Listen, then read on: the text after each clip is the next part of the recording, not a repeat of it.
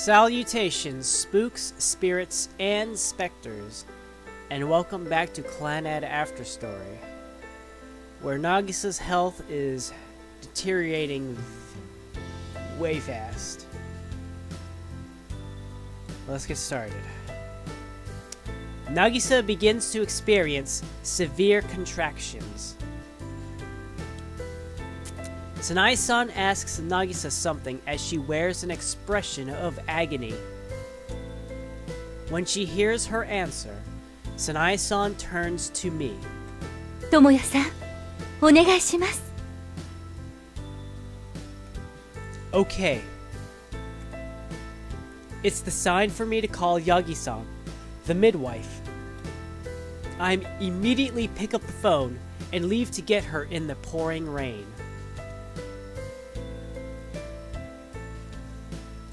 Nagisa is still in pain when I return with Yagi-san. All I can do now is let them take care of the rest. 古川さんはベビーバスに湯を張ってもらえますか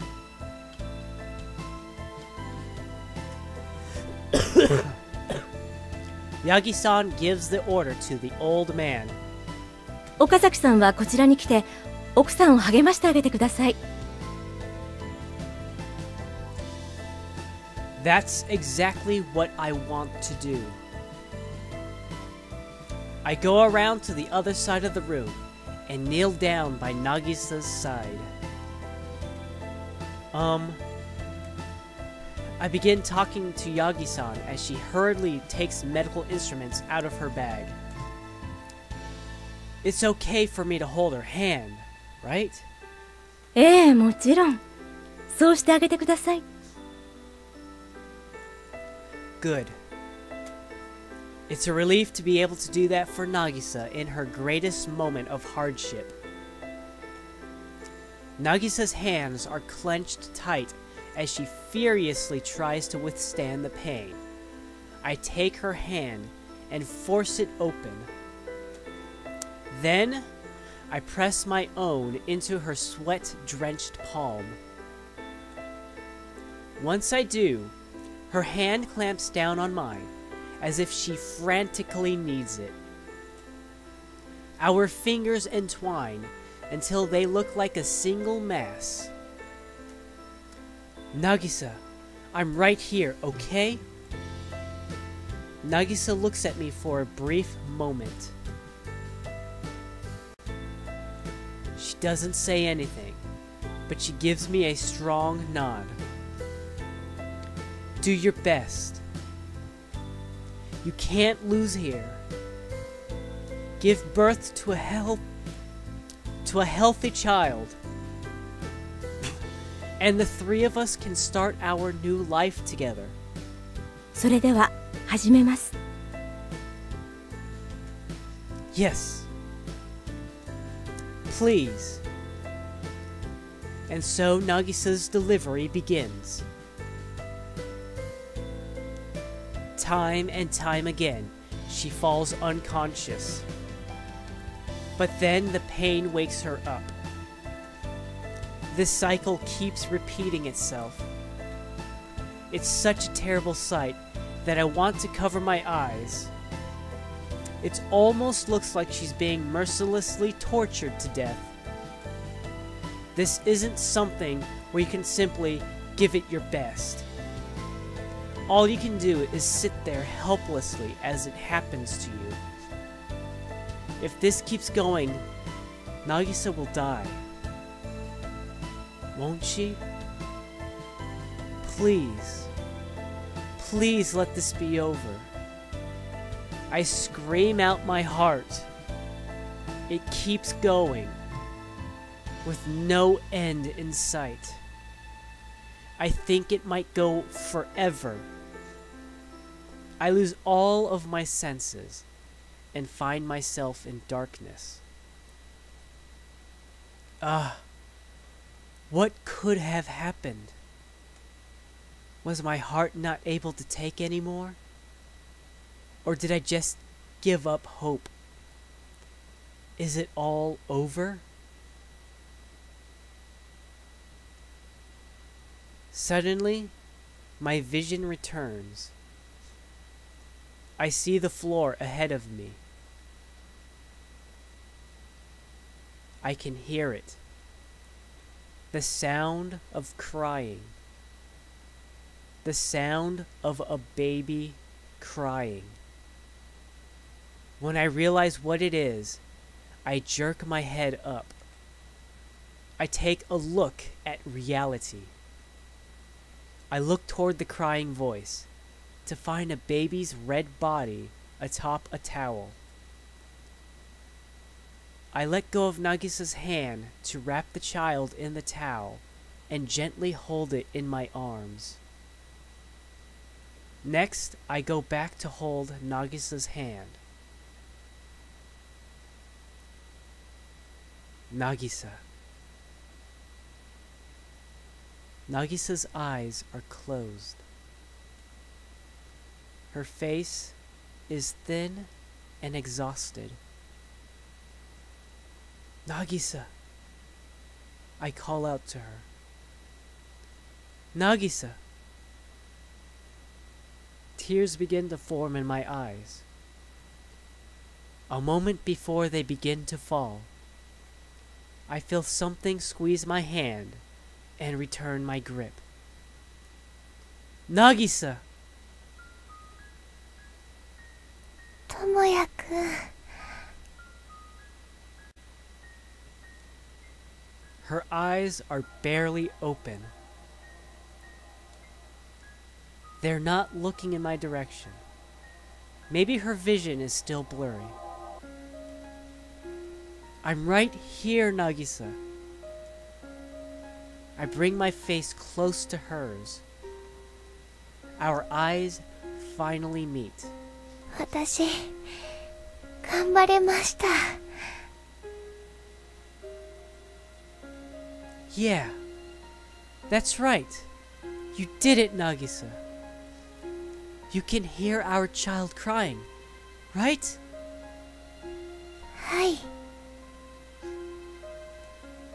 Look, I'm the first one to hold it. はいかわいいです Yeah. This is our child. This is Ushio. Shio-chan. I don't see anything down there. So I guess it's a girl. Right, Sanae-san? Yeah, I was right. It's a girl. A healthy baby girl. よかったです Yeah! You did a good job! You really did! はい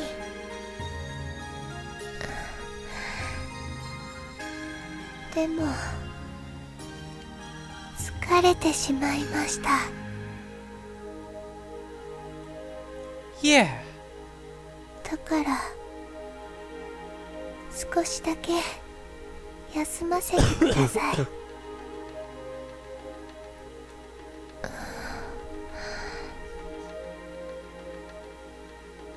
I feel anxious.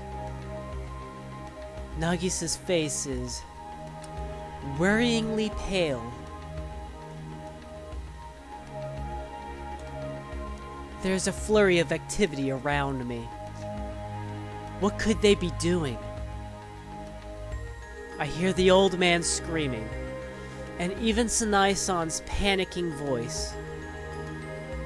I wish they'd all be quiet.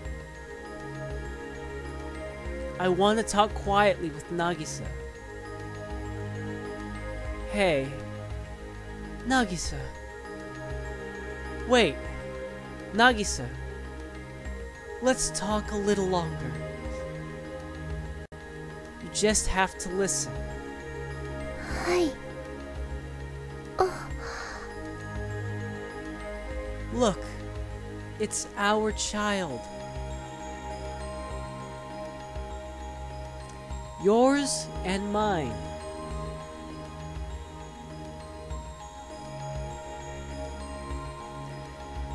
Doesn't her face look like a monkey's face? She's so small. Let me try calling her by her name. Ushio. It's your daddy, Ushio.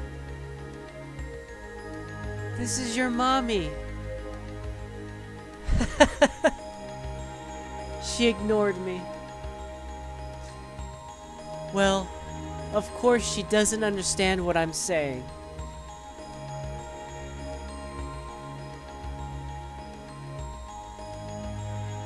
Nagisa isn't able to speak. But she holds my hand. She holds it tightly so that we don't drift apart. I bet she'll grow up before we know it. we'll blink, and she'll be in kindergarten.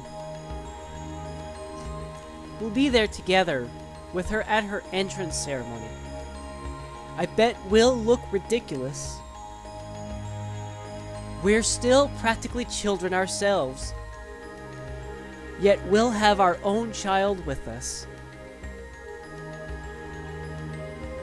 I bet it'll be funny. Nagisa smiles too. She'll start elementary school. And then we'll go see her on parents' days and field days. We'll do it all as a family. That'll be a sight to see too. We'll probably look silly, the two of us. I used to make fun of that kind of thing more than anyone else I knew. She nods. But then you... You kept making this girl listen to the Big Dango family song over and over while she was inside your stomach. Now I'm afraid she'll grow up to like it too. I hope she only inherits the cute parts of you. I don't mind if she's a little bit of a crybaby. As long as she gives it her best when she needs to. I hope she grows up to be like that.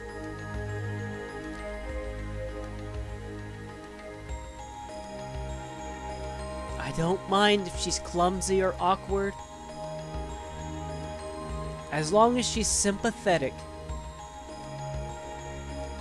and is able to work hard for other people's sake, not just her own. Just like you do. I hope she ends up like that. My vision is blurry. I hadn't noticed until now, but tears have filled my eyes. And there's nothing I can do to make them stop. Why do I feel so uneasy right now? What is this pain in my heart? All I want to do is talk with Nagisa in peace. Hey, Nagisa. But there isn't anything uh, left to talk about.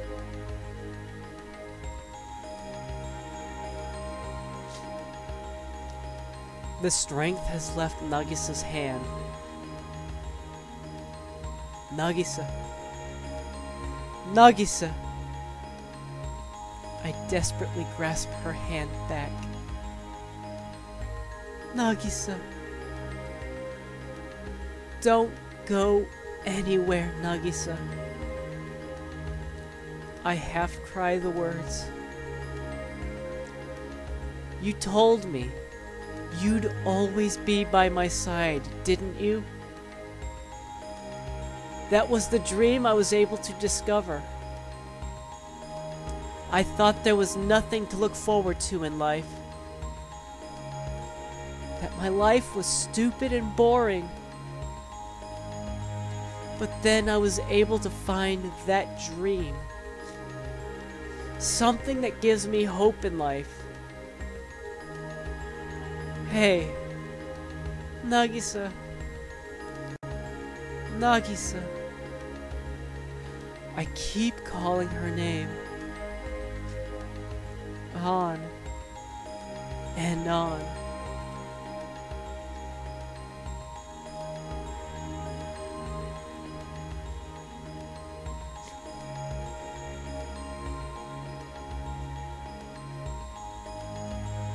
I'm surrounded by dazzling light.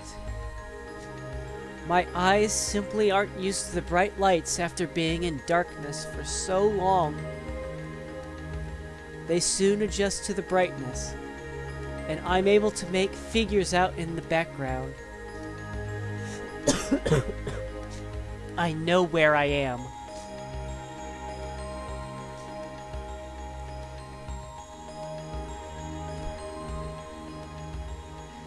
The bottom of the hill to school. She's there again. She stares at the school gates up above us.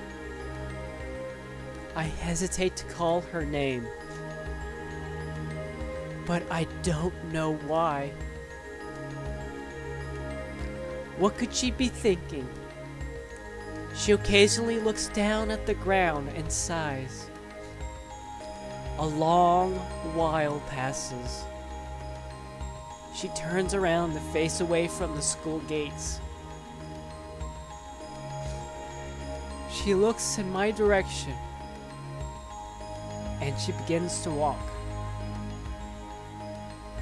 She passes by me, a man she doesn't know. I need to say something to her. But maybe it would have been better if I hadn't if she had never met me at all? Wouldn't it have been better if the two of us continued on our own separate paths? But I, I, Nagisa, I scream her name. I'm right here. Nagisa turns around once more. She looks at my face. よかったです。声かけてもらえて。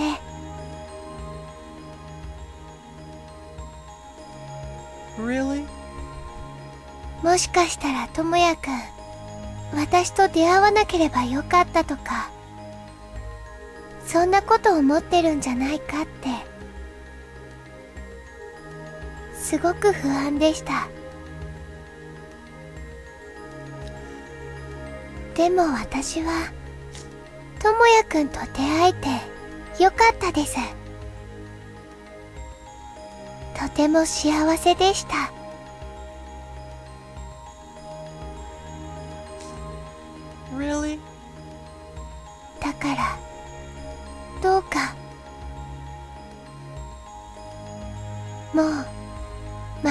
ないでください。これから先どんなことが待っていようとも私と出会えたこと 後悔しないでください。ずっといつまでも強く生きてください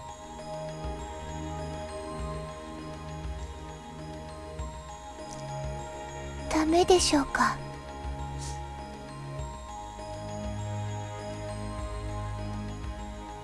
No.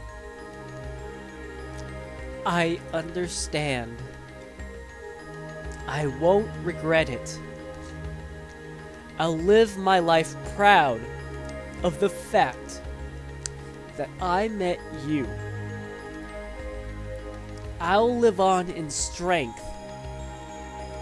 そうですか。ありがとうございます。She smiles at me sweetly. Well, shall we go?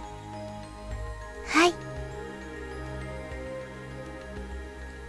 Leaving behind those distant days. ともやくんも、団子大家族、好きになってほしいです。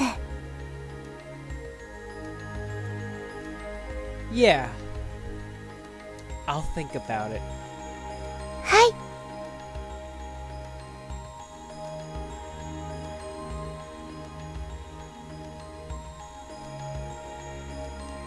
We begin to climb. The long, long hill.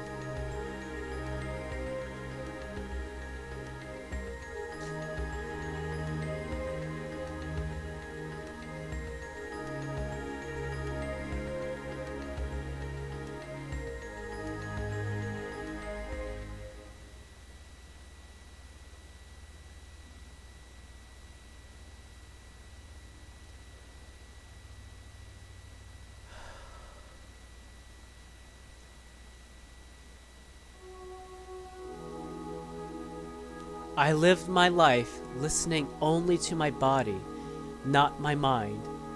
Wake up, go to work, cat, uh, eat, sleep. The same cycle of ingrained emotions. That was how I lived those days.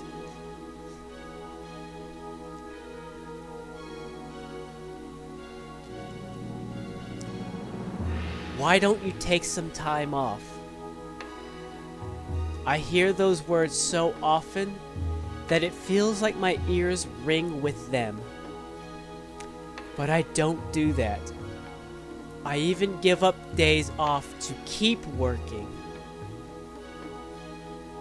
But it's not as if I have a full day of work waiting for me every day of the week. There end up being times when there's nothing for me to do.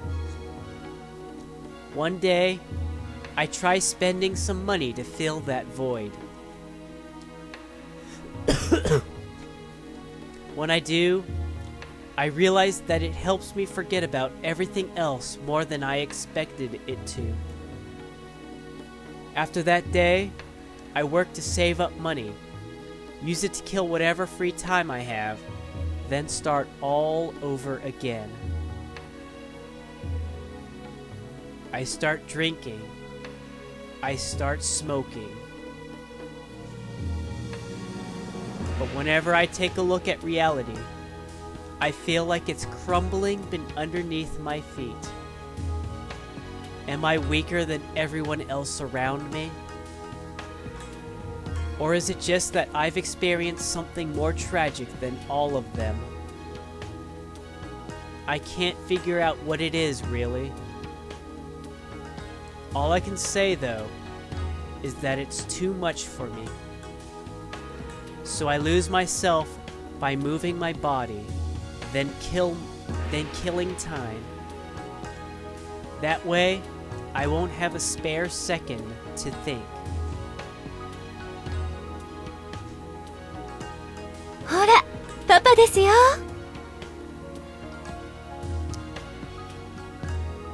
I'm gonna go ahead and end the end the video here. So thank you all very much for watching. And ciao for now. Ciao for now.